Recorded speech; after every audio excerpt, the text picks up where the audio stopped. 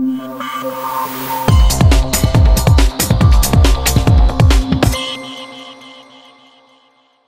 amigos de Pío Deportes, estamos con eh, el buen amigo, periodista, cronista deportivo, comercializador y gerente general del conjunto Rafael Varias, Alberto Rodríguez. Alberto, gracias por estar con nosotros.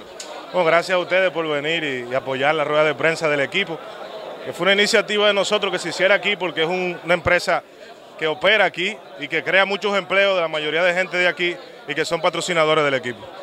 Alberto, do- dos años después, tres años después de, de- de que no se, no se realizó, no se realizaba el torneo distrital, el conjunto Rafael Varias vuelve una vez más como el conjunto campeón.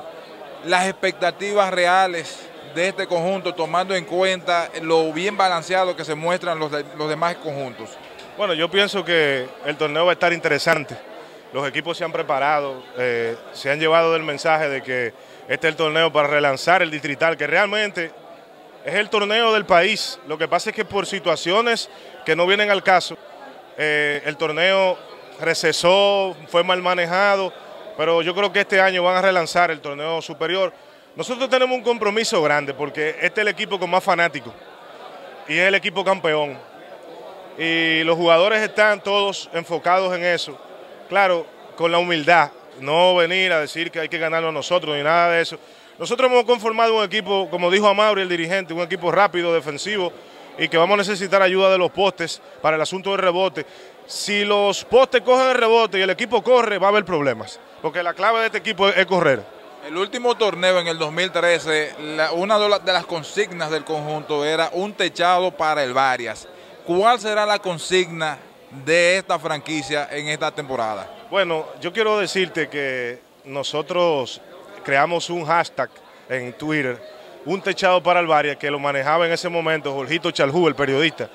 Este año la consigna es, vamos a jugar para ganar. Todavía no hemos creado un eslogan, yo creo que eso se crea durante el torneo. Y pienso que ya tenemos el techado. La idea de, meter este equipo en el superior era que el equipo, la barriada, se metiera en los medios de comunicación masivos para que la, política, el, el gobierno dominicano se diera cuenta que este barrio necesitaba un techado. Y se consiguió, gracias al diputado que estaba aquí hoy. Alberto, viendo también el equipo ya como tú lo tienes estructurado, o sea, José, José Fortuna, Manuel Fortuna, también Giancarlo Acosta, todos esos jugadores, aparte de Manuel Fortuna, van a durar hasta, hasta el final.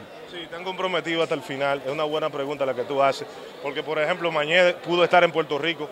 En el, en el 2013 eh, nosotros lo ayudamos para que fuera a Puerto Rico y, tuvo un gran torneo con Ponce, con el dirigente Nelson, Nelson Colón, que fue un dirigente que yo traje aquí en los Titanes en el, en el año eh, 2010.